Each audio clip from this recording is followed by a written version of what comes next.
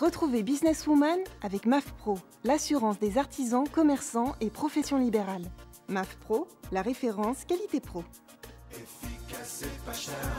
C'est la MAF que je préfère. C'est la MAF.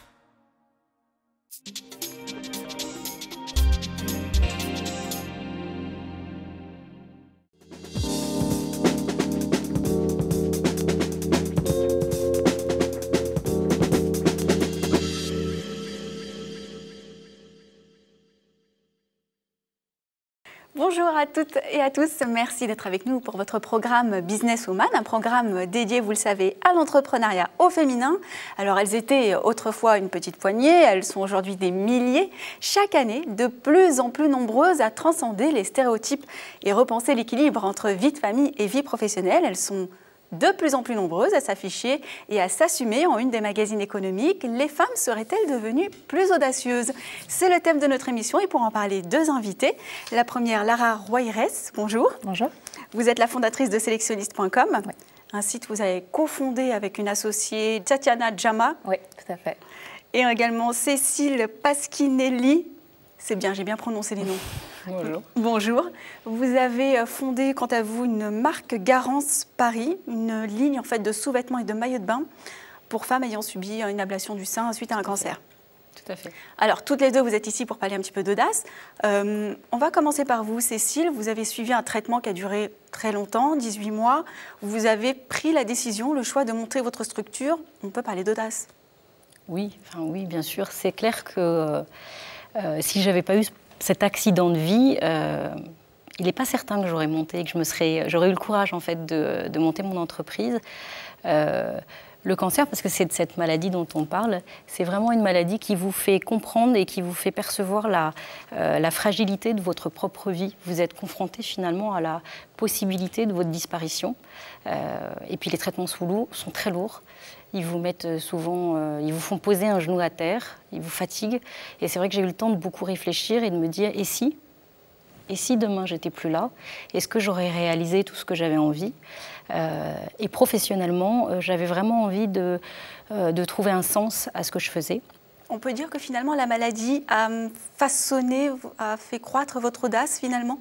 Complètement. Le projet entrepreneurial, je l'avais depuis toujours. Je suis issue d'une famille d'entrepreneurs. J'ai toujours été salariée dans un, dans un, gros groupe, avec cette envie, quelque part dans la tête, qui trottait de me lancer également.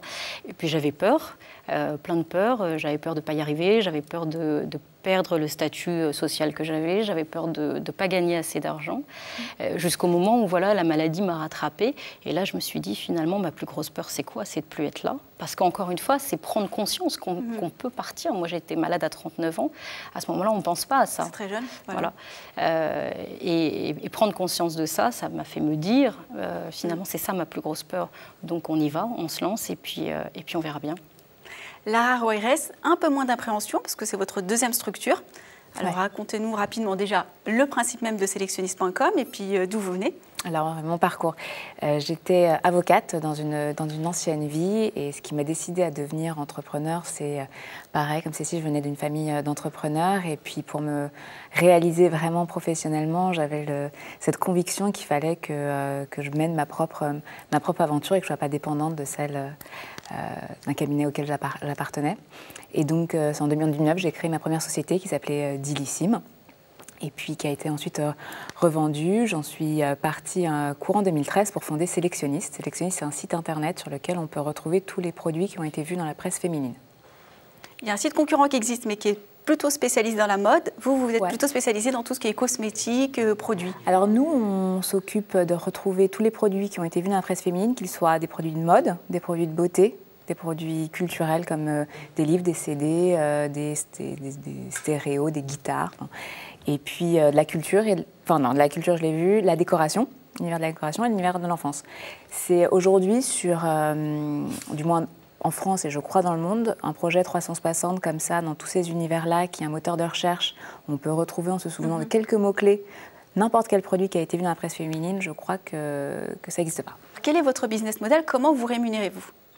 Alors, on se rémunère en montant, montant, des opérations de partenariat avec les marques qui sont régulièrement dans la cité, dans la presse féminine. Ce qu'on leur offre, c'est de la visibilité, la possibilité de créer sur notre site comme une boutique euh, qui est une boutique euh, qui est sur mesure, qu'elles peuvent complètement euh, customiser et qui ne référence que les produits qui ont été vus dans la presse féminine. Il n'y a pas d'achat, c'est-à-dire que c'est une boutique virtuelle, mais on ne peut pas... Alors c'est une boutique vers laquelle on redirige ensuite tous les produits qui sont présentés par marque sont ensuite redirigés vers le site de la marque.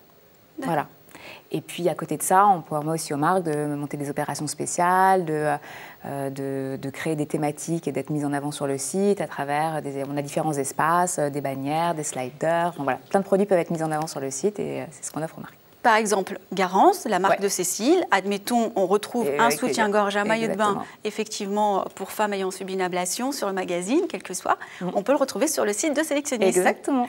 Alors, quelques mots sur Garance, on va en profiter pour en parler la marque Donc Garance, c'est une euh, marque qui est dédiée aux femmes qui ont eu un cancer du sein avec une ablation. Donc on propose euh, des maillots de bain, on propose euh, de la lingerie de nuit. c'est une marque qui est présente dans des réseaux de distribution à la fois médicaux, parce que c'est là, jusqu'à il y a encore quelques années, que l'on trouvait ce genre de produit. Donc il fait imaginer, hein, la femme, elle avait envie d'un maillot de bain, il fallait qu'elle pousse la porte d'une orthopédie ou d'une pharmacie. Et là, elle avait finalement le choix entre deux marques allemandes avec des modèles un peu austères. Et l'audace de Garance, puisqu'on parle d'audace, ça a été de croire qu'on pouvait leur proposer une alternative si elles le souhaitaient, et qui était d'avoir accès à des modèles euh, féminins euh, tendances, qui suivent vraiment les tendances. Euh, ça, c'est une première chose en termes de produits. Et puis en termes de distribution, qu'elles pouvaient aussi les retrouver ailleurs que dans ce réseau médical. Féminiser, en fait, finalement, euh, l'achat de ce... Ou démédicaliser, démédicaliser effectivement. Voilà. Donc l'idée ensuite, c'est de pouvoir retrouver la marque dans des boutiques classiques dans des, et dans des grands mm. magasins. Et c'est le cas dès cette année, puisque la marque est présente aux Galeries Lafayette à Haussmann. Alors, l'émission est dédiée à, donc, à l'audace des femmes. 30% seulement des femmes euh, ont créé leur entreprise. Par rapport aux entrepreneurs de manière générale, c'est assez minime.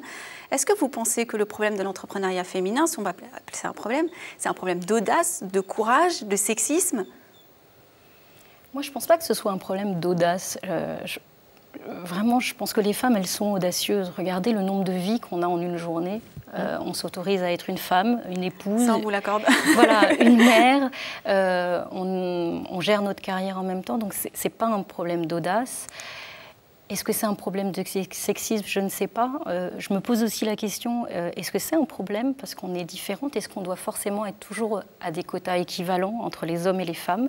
Ça, m'interpelle cette question. Effectivement, on ne va pas aller rechercher les femmes qui n'ont pas envie d'entreprendre, mais pour celles qui ont envie justement euh, d'être justement sur le marché de l'entrepreneuriat, de monter leur structure, on peut être maman, salarié, etc pourquoi les femmes ont plus de difficultés finalement euh, à accéder au statut de chef d'entreprise. On sait que par exemple quand on discute avec euh, les réseaux euh, de femmes entrepreneurs, on dit qu'elles ont plus difficilement accès au financement, qu'elles ont plus de, contraintes. Culturellement, c'est plus facile de dire à un homme, un homme qui rentre tard au foyer, c'est bien, il travaille dur pour sa famille. Une femme qui rentre dur au foyer, tard au foyer, c'est elle délaisse sa famille pour son entreprise. Voilà. Culturellement, est-ce qu'il n'y a pas aussi quelque chose qui bloque encore? Oui, c'est possible. je pense que la, culture française n'est pas complètement une culture qui est totalement axée euh, sur l'entrepreneuriat. Je pense qu'il n'y a pas, pas assez de beaux modèles et pourtant il y a des super entrepreneurs masculins et également des super entrepreneurs, des sublimes entrepreneuses féminines, enfin, femmes, mm. qui ont fait des très belles réussites. Je pense qu'elles ne sont pas assez mises en avant. Et Trop discrètes, peut-être. Elles-mêmes ne le sont pas, mais bon, après, il faut aussi avoir envie de les, de les, mettre en avant, de les propulser, de les mettre sous, la, de les mettre, euh, on va dire, sous les feux des projecteurs. Euh, je pense que pas mal de femmes, enfin moi en tout cas ce que j'entends autour de moi, c'est qu'elles sont euh, elles se disent c'est pas pour moi. Enfin, disons que en fait, je me, un peu par flemme. Je pense qu'elles en sont complètement euh, capables, mais, elles se disent non, c'est plus facile. Je reste, je garde ce que je connais et je vais pas chercher ailleurs. je pense que pour autant, les femmes sont audacieuses et qu'il faut juste qu'elles qu'elles se disent si si, c'est quand même pour moi. Je peux, je peux le faire. Face à ce constat plutôt mitigé, on va dire déplorable par rapport à l'entrepreneuriat masculin. On sait que le gouvernement multiplie un petit peu les actions en ce sens. On sait que Najat euh, Vallaud-Belkacem, ministre des droits des femmes, va euh, présenter le 3 juillet prochain un plan dédié à l'entrepreneuriat. Qu'est-ce que vous vouliez voir comme initiative proposée à ce moment-là? Qu'est-ce que vous souhaiteriez qu'on mette en place pour optimiser finalement? Alors moi, il y a vraiment deux, points euh, que hum, que j'aimerais bien qu'il change. Je pense que pas mal de femmes, quand elles montent un projet, elles montent rarement des projets purement technologiques. Et aujourd'hui, se faire aider quand on n'a pas un projet qui est très technologique, proche de la R&D, c'est plus difficile. L'innovation. L'innovation, voilà. Les femmes proposent une innovation d'usage, une innovation de service. Et donc, il faut aider, à mon avis, le financement de ce type d'innovation. Et puis, deuxième point, euh, une femme, et bon, c'est vrai pour un homme, mais essentiellement une femme, quand elle est aussi euh, chef de famille, euh, elle a besoin d'être aidée. Donc, elle a besoin de pouvoir s'entourer, pouvoir recruter. Aujourd'hui, le coût du recrutement est est, lourd en France. Et quand on monte une société, euh, bah, les taxes sont, sont terribles. on a peu mmh, d'argent. Et. Euh, et, donc voilà, je pense que faire un geste pour les premiers salariés qui permet du coup de pouvoir rémunérer le salarié sans forcément euh, que ça coûte deux fois le prix. Mais c'est une mesure finalement qu'on peut appliquer aussi à tout le monde, aux hommes aussi. Oui, c'est une mesure qui favorise, à mon sens, qui favoriserait l'entrepreneuriat. Je pense qu'il y a des premiers freins et ce qui fait que les entreprises ont du mal à, grandir, c'est qu'il faut. On, voilà, on n'est pas multi, enfin, on est multitâche, mais on peut pas tout faire. il faut à un moment donné construire une équipe, et, puis c'est l'équipe qui porte. Et il bah, faut pouvoir embaucher, recruter. Et puis après, il y, a, des charges qui sont des charges sociales associées à ces salariés. Et, si on pouvait les alléger, je pense que ça aiderait beaucoup d'entrepreneurs. Comment se sont passés vos lancements respectifs? Est-ce que vous avez rencontré des difficultés? J'imagine que oui. Euh, est-ce qu'il y a des moments où vous avez eu envie de flancher? Euh, Qu'est-ce qui vous a tenu? Comment ont réagi vos proches à votre décision de vous mettre à votre compte?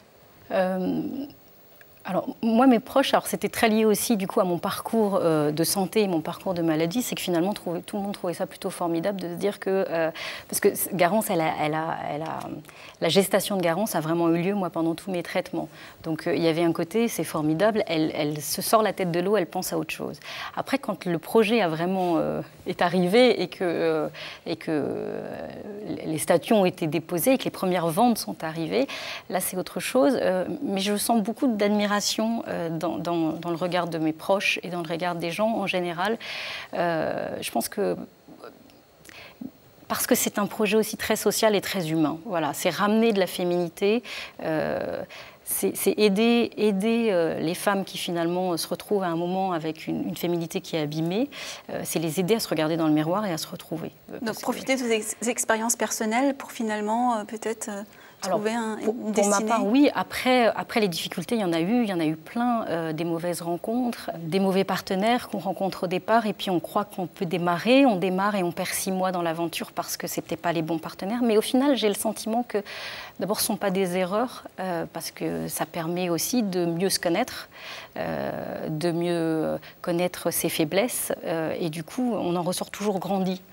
donc, j'ai plutôt le sentiment de ne pas avoir commis d'erreurs et c'est le, le parcours nécessaire et obligatoire finalement. Lara, si vous pouviez donner quelques conseils à des femmes qui peut-être nous écoutent, nous regardent et qui manquent un petit peu d'audace pour se lancer dans le monde de l'entrepreneuriat il y a beaucoup de femmes qui, renoncent, enfin, qui ont l'idée, qui ont l'envie, elles le sentent, elles, elles ont cette, un peu cette fibre-là, elles commencent, elles réfléchissent, et puis euh, au bout d'un moment, il bah, faut arrêter de réfléchir, il faut passer à l'action. Et souvent, c'est au moment de ce passage à l'action qu'elles abandonnent parce que bah, ça nécessite de faire quelques sacrifices. Et donc moi, le conseil que j'aurais envie de leur donner, c'est faites-le, franchissez ce pas, sautez le cap. Enfin, c'est, je pense, le plus beau métier du monde. C'est une adrénaline, une énergie, une énergie. C'est certes vachement de stress et beaucoup beaucoup d'emmerdements euh, vulgairement. Mais allez-y, mais allez-y, vous allez avoir plein d'emmerdes, allez-y. non, mais c'est vraiment, c'est que du stress positif. Hein. Euh, quand on finit une journée en étant entrepreneur, on a appris plein de choses, on a fait plein de métiers, et, euh, et je pense qu'à la fin, c'est c'est juste le meilleur des métiers. Et quand on a envie d'avoir une vie de famille, je pense que c'est aussi une vraie liberté d'être entrepreneur parce qu'on gère son temps. Et, et ça, ça n'a pas de prix pour une mère famille. Ce seront les mots de la fin. Ce sont des entrepreneuses qui vous le disent. Merci de nous avoir suivis. On se retrouve évidemment sur demain, sur WeDoBiz, mais sur également le site ellesentreprennes.fr, un site de la PCE. À très bientôt sur Business Woman.